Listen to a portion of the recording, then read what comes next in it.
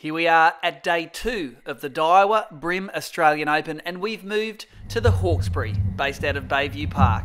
And it's looking a lot like 2018, with Mark Crompton taking the lead. His bag today, 5.33 kilos. Check out this bit of awesome angling.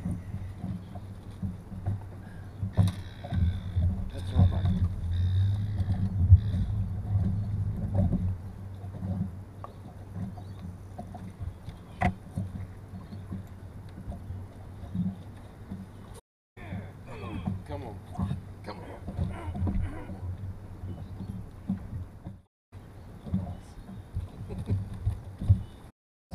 Boom!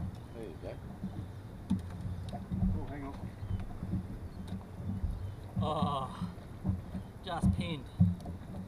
Not bad for fish number one. Number one. And if you thought that was a great reaction, check out this fish. It's over a kilo and a half, and well, Cromme gets rather excited.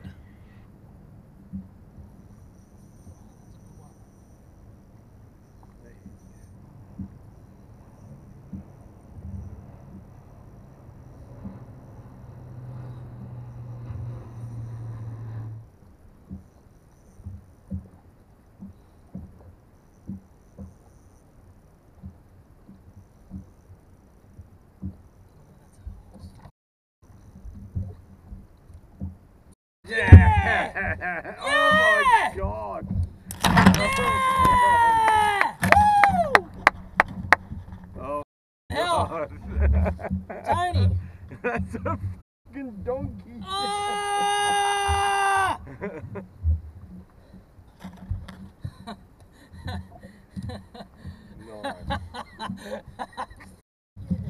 That's, That's the best. That is the best.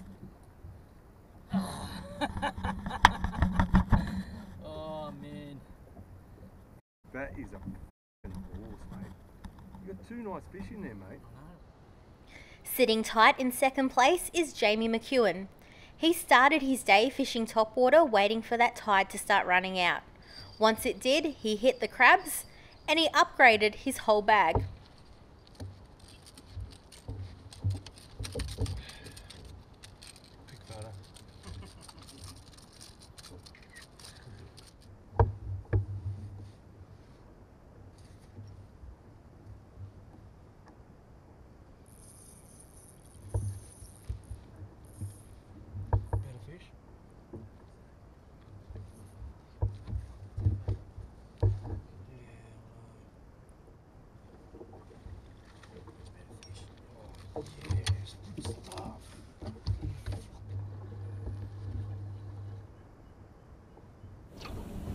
Dan Bonaccorso fishes in one of the smaller tinnies in the field, but that doesn't limit his ability to catch big limits. He found a great spot wide of the Pittwater Flats and he milked it with a near 5 kilo bag.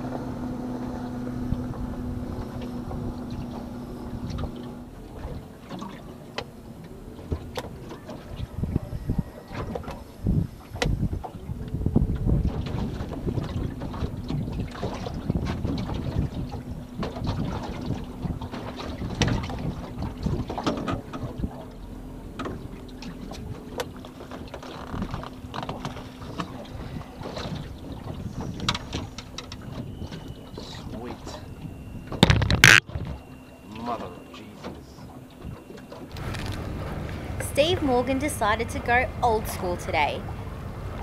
He threw cranks at bridge pylons and took a live stream audience along for the ride. It feels better. Bit of a head shake on that one.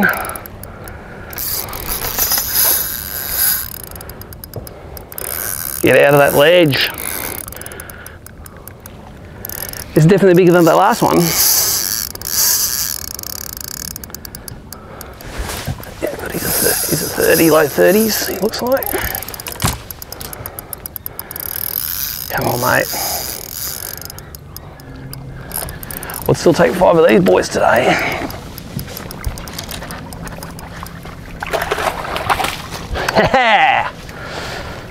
the account is open for the big boys.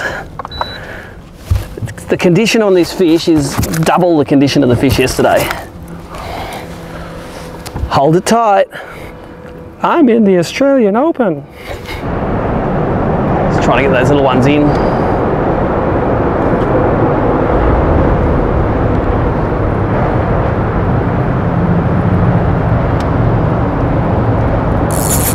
That's a bigger one.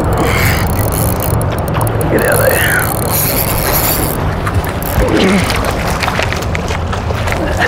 He's still looking at a I don't think.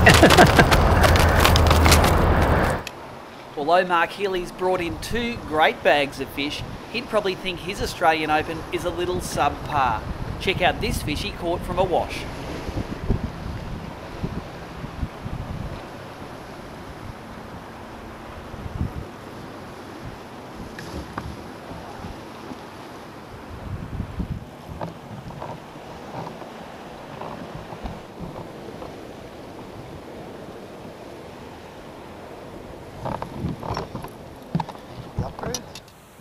Everyone knows Grant Kime is as Australian as a slab of VB. Grant's sitting in ninth at the moment with his sights set firmly on a top 10 finish this week.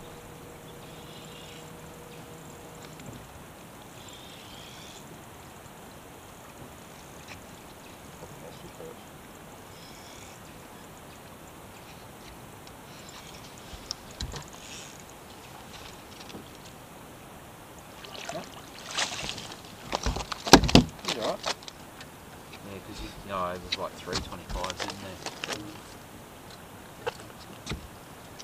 Bit better. Yeah. If you asked Denis Metzdorf how he thought his day two went, he'd probably say subpar, even though he weighed over three kilos of bream. He headed way up the Hawkesbury to do it, and I think he did pretty well for a Queenslander. Denis loves playing music on his boat, and that's why we've had to mute his audio. Watch out, Denis, you're going to end up with a Kris Hickson style voiceover in no time.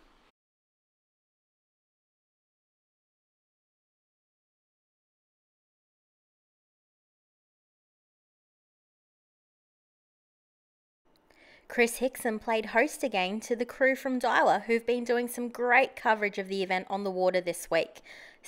We look forward to seeing their Daiwa angler coverage coming out soon.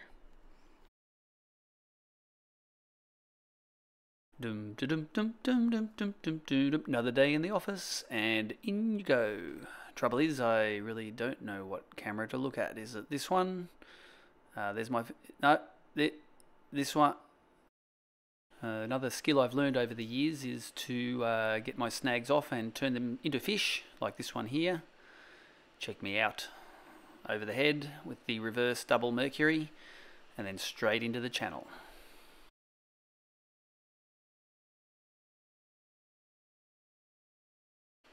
In you go, buddy. I am going to catch so many fish today, it's going to be sick. And now I've got my shit together. Show that camera, come to the back, show the other camera. Boom. Anybody remember the Gippsland highlights? Wally Fahey getting done by a great bream in structure. Well, he brought that form to the Hawkesbury.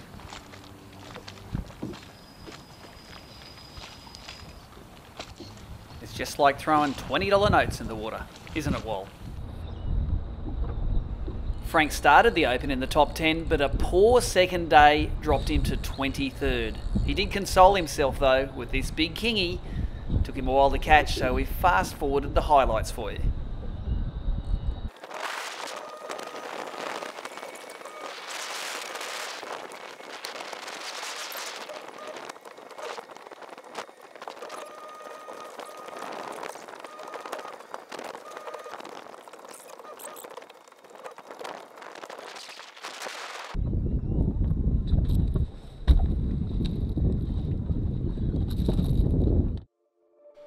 And that's it. Day two in the books for the Daiwa BREAM Australian Open. We are back in Sydney tomorrow for an exciting final day. Follow all the live coverage www.abt.org.au.